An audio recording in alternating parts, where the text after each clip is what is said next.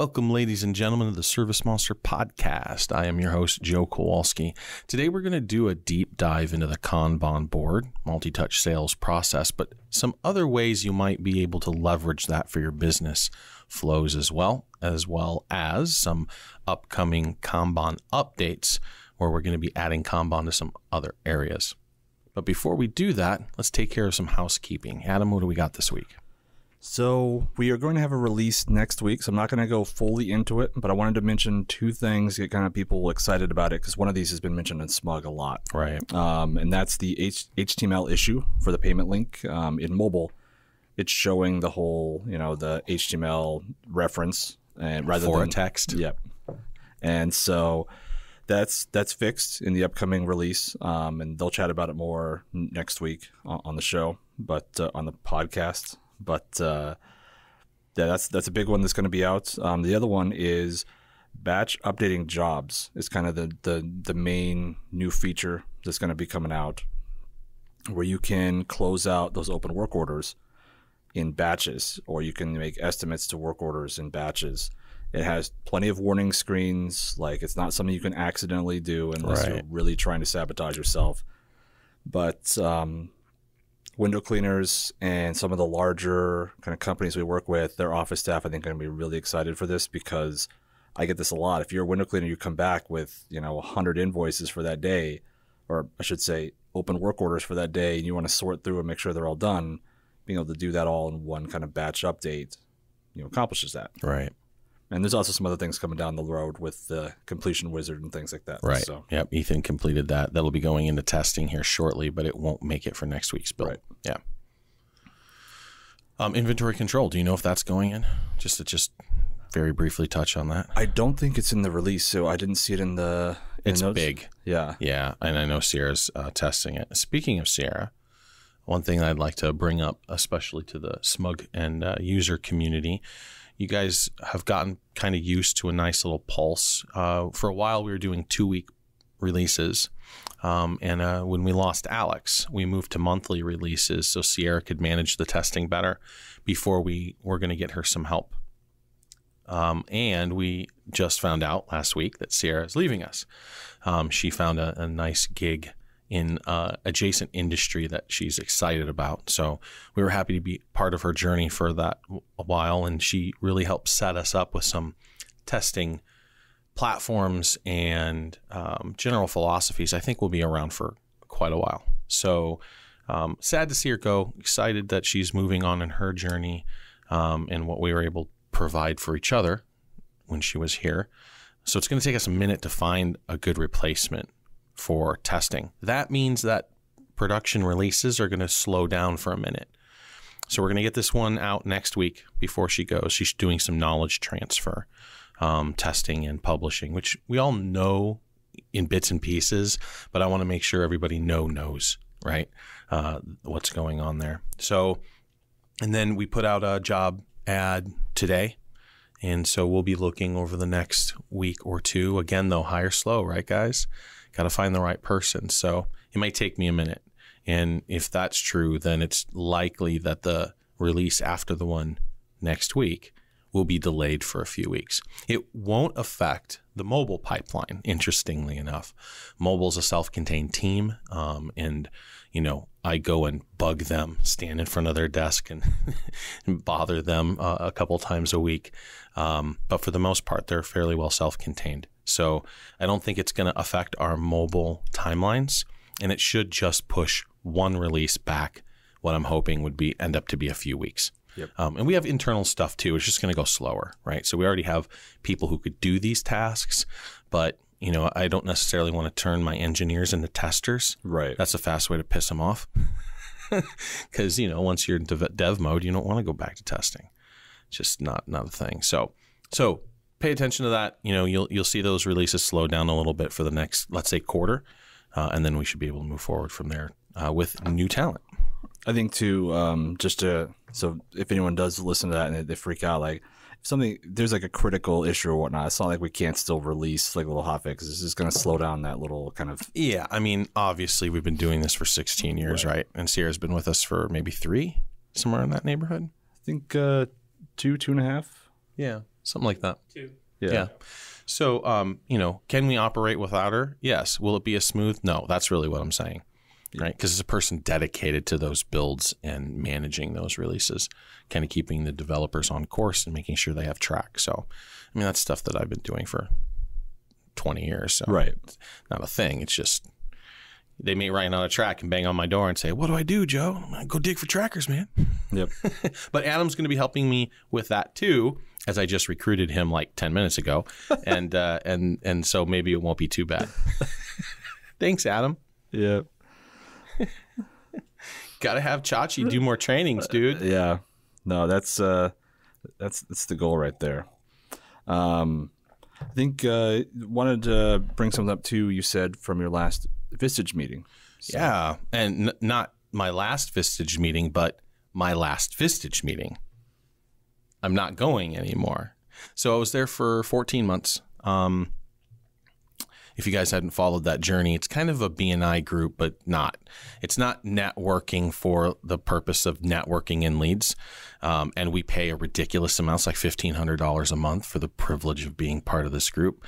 It's all high end uh, business executives. You know, even with Service Monster just under 3 million, I was a smallish fish in the room. Uh, most of these guys are pushing 20, 30 million dollar businesses. Um, so it was a privilege to hang out with them for a year and kind of, you know, um, have some of those painful conversations as executives or as CEOs, business owners that you wouldn't necessarily have with your employees. Things that keep you up at night, right? Is this really a big deal? And and um, just the psychology behind it. You know, it gets lonely being a business owner, and your peer group, usually in your local area, your friends aren't on that plane. Um, you know, when they go home at night, they're done. it just doesn't exist that way for us. So, rubbing shoulders with those guys for the last 14 months has been great. It's taught me a lot, um, helped me refocus kind of introspectively some things that I've needed to work on. Sometimes I get too excited when I'm in a group of people that are high hitters, and I have a tendency to just be like, oh my God, let me melt your brain because I want to extract as much as I can. Uh, and uh, I'm a little heavy-handed sometimes, so that helped refine that general skill. Um, it was worth it. If you guys are thinking about something like that, it's definitely worth it. At least for a year, make a commitment to yourself to do it. I'm coming out because most of those guys aren't software companies, and we run a ridiculously complex business. Most of their businesses are fairly straightforward and simple. Um, and the things that we were talking about over and over again are things that this company mastered a long time ago process, SOPs, building culture. And of course, I put master in air quotes, right? Iterative cycles were never done. So we're always improving, we're always making things better. But compared to the restaurant owner or the sheetrock company, even if you're a $30 million sheetrock company, um, it's a pretty simple business model. Hang up sheetrock, bill for sheetrock, make sure you get paid, sell, rinse and repeat. right now, you got logistics and where's the sheetrock going to show up, and uh, you can get those flow charts can get big. Um, but the SaaS company didn't even exist 20 years ago. Uh, software as a service and how we produce software and how we support our clients uh, what we create, how we publish, how we develop, how we sell, how we market. This is all brand new territory. So I wanted to see if I could find another group or make one. So I started calling Seattle SaaS CEOs. hey, can I get like 10 minutes of your time? And so it hasn't been very effective yet, but I'm going to keep on it. And I'm just going to bug them until they're like, what, kid? What do you want? But I'm hitting up hundred million dollar companies too, so I don't give a crap. Right. I'll I'll hit you unrelentlessly for six months just to show you that. well, I mean, if you put that How about effort today? in, How about today? How about today? when I was a senior at uh, at the Western, I did a project on uh, F5 Industries. They're like uh, Cisco um, here locally in Seattle. You know, they were their their market share was ridiculous, and I was just doing you know a project on it. I reached out to the, the CEO a couple of times, and he responded. Like it was pretty short and sweet, but yeah, I mean, they, Right. That's what they're there for. Sometimes you just got to try, right? That's right. And then keep trying and keep trying and keep like I, I'm going to keep doing this until you tell me to go away. So I have had some interesting conversations out of that, but yeah, Vistage was my uh, my last meeting was yesterday, and so you probably won't hear me chatting about that anymore. Well, very nice. So, I think with that we can jump kind of into into SMUG here. Um, the first one I wanted to bring up was Mike talking about this this uh, bug that we were talking about Right. last night, and this is kind of one of those incentives to kind of start moving on to six rather than be using a five, and so. Part of it is the bug is it's clearly tracking something that's in six, but let me describe what's happening here first. So, job notifications. The system is built in the six kind of pipeline for these notifications to go out 24 hours, 48 hours before the job, whatever you guys want to have set up there. Text or email. Exactly. If you make the cancellation for the job in six, the whole system kind of shuts down. No muss, no fuss. out. Exactly. If you make the cancellation in five, five has no idea that this notification system even really exists. Yep. And so that's where the bug itself is sort of rearing its head. And it's, Right. it's really just because it was written for something that was in six. You know, this case just wasn't presented. People using kind of both versions wasn't really, I think, We have a tracker in for that, right? We sure do. Right, because your your um, initial assertion was, "Hey guys, stop using five. My assertion, of course, is let's make sure that shit's fixed. Obviously. yeah. No, the, the tracker was actually put in a couple days before that. Right. So, Which is amazing. And then you were able to pop in because I didn't. I'm like, I never heard of this bug before. And you're like, Hey, are you using both five and six? Why, yes, yes. I have one person who still won't get to six. Um, and that's probably the scheduler. Probably, yeah. this is kind of a new part of a report here. Chris asked um, about printing tech and admin notes. Uh, he had some things that were in there. Um, I'm not 100% sure if it was for insurance or what the purpose was. Well, the use case was a chargeback. Someone denied their credit card charge, and they wanted to be able to ship the notes as part of the package that we assemble when we dispute a dispute. Yep. Okay. Yep. I see it down here. In the, yep. So, what Brenda did was she went in and she modified one of our reports, it's the uh, schedule printout report. And basically, if you have a note in either the tech or admin notes, it'll actually just show up in that little column now. Say, hey, there's notes here. Do I see notes? And when you click the note, opens up a separate page. All the notes are in there. It's dated. Everything is sort of indicated what order was tied to and whatnot. You can print that for anyone who sort of has a dispute or similar scenarios. And you can grab what you need out of there and, and move forward.